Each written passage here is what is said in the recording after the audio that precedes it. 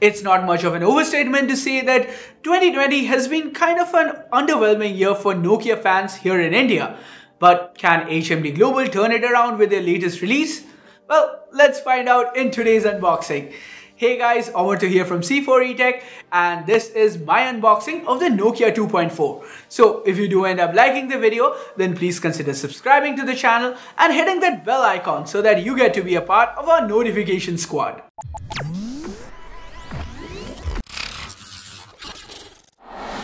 Typical Nokia box here, flatter than most other phone boxes, but also wider. Anyway, we have the usual picture of the phone along with some branding on the front. To the bottom, we get the Nokia promise, two years of Android upgrades. That's one of the biggest pluses of owning a Nokia device, stock Android plus updates. I'll get into the software in a bit. First, let me continue with the unboxing. The back has some of the spec highlights and we also get the MRP, 11,499. Let's now slice through that seal and get this box open. First thing inside the box is the Nokia 2.4, wrapped in protective plastic film. Let's get rid of that. We have the Nokia 2.4 in charcoal. That's what HMD Global is calling this matte grey finish. But there are two other color choices as well, Fjord and Dusk. Switching it on for the first time, this is gonna take a while, so let's quickly take a look at the other stuff. We get a SIM ejector pin, a quick start guide, and some product safety info. A clear soft case fits the phone nice and snug a tiny 5 watt charger, and the last thing in the box, a micro USB cable.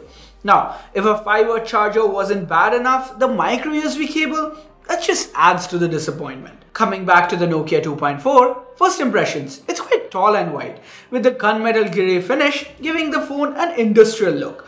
Now, as I mentioned before, this plastic back has a grippy matte texture to it, giving it a nice in-hand feel. It is also pretty resistant against fingerprints and scratches. Still, for some weird reason, I just didn't like the in-hand feel. It's not like the phone's too heavy. And for a big phone, it's pretty well balanced too. Even the buttons are nicely positioned. But for some reason, when I picked up the Nokia 2.4, it felt like the edges were digging into my hands and I just didn't feel comfortable. Speaking of edges, let's take a look around the phone. Up top, we have the secondary noise cancelling mic along with the headphone jack. Yes, we get that and FM radio too. To the left is the triple card slot. Below that is the Google Assistant button. And the bottom has the primary mic, micro USB and the speaker. As for the right, that's where we have the power button and volume rockers. The fingerprint sensor, that's to the back. By the way guys, we can swipe down on the fingerprint scanner to bring down the notification sheet. This is really handy because up front we have a massive 6.5 inch LCD panel. HMD Global has chosen to go with a 720p display here. It doesn't get all that bright either. So the end result, it ain't pretty. The resulting PPI is around 270 and that means text on the Nokia 2.4 looks kind of janky. Now, if you can somehow look past that, the colors seem okay and the viewing angles are decent. But hey, maybe it's just the display, right? Nope, the hits just keep on coming. The processor here is the Helio P22, not the G80 or G85, but the Helio P22. That's the same chip that had been used in the Redmi 6, a phone that came out in 2018. Not to mention, at launch, the Redmi 6 cost just 8000 rupees. Now I wouldn't suggest it, but if you do want a game on the Nokia 2.4, we have the PowerVR GE8320 taking care of GPU duties and in game or outside the performance here is nothing to write home about. The only reason why the Nokia 2.4 is usable is because we have bone stock Android 10 on board. In fact, stock Android is possibly the only highlight here as even the RAM and storage, well, we get a base 232 and a higher 364GB variant. Now, I'm the first person who would say that we don't need 12 gigs of RAM on a phone.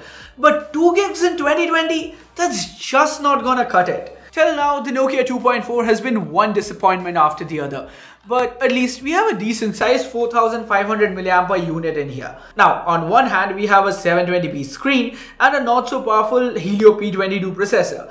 But the 720p is stretched out across a large 6.5 inch panel and the P22, thanks to its age, is based on the now ancient 12 nanometer package. To add to the woes, we have a paltry 5 watt charger, which would take quite some time to charge up that 4500 mAh battery. Now, software generally is the highlight of Android One devices.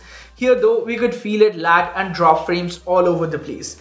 Something as simple as scrolling through an app at times caused a stutter. That's not the fault of Android though.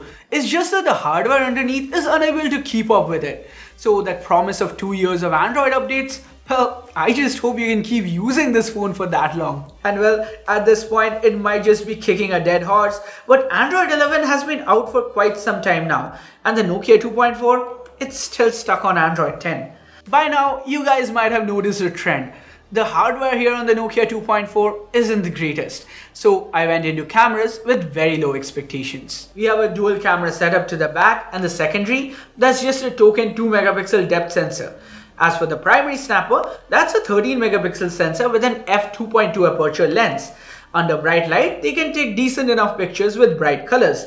That being said, I did expect a bit more detail, even from a budget 13 megapixel snapper. The chip limitations though once more come to light on the video front. We can only capture 1080p footage from the Nokia 2.4. Turning it around from the selfies, we have a 5 megapixel snapper and once more the snaps fail to impress me.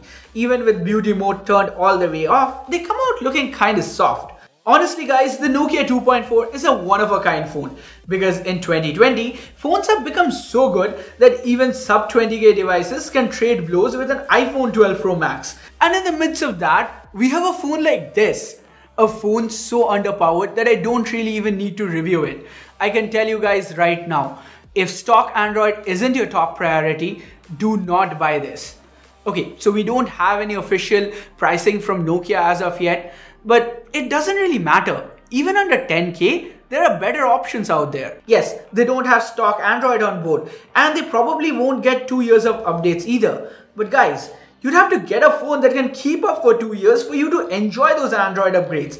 And unfortunately, the Nokia 2.4 isn't one that can. That's my honest opinion about the Nokia 2.4.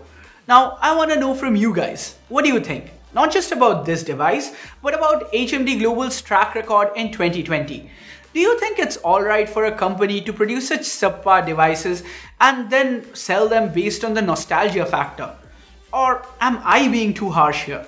Do let me know your thoughts in the comments down below. As always, like, share, subscribe, and oh, turn on notifications by hitting that bell icon if you haven't yet. Thanks a lot for watching till the end guys. Have a good one.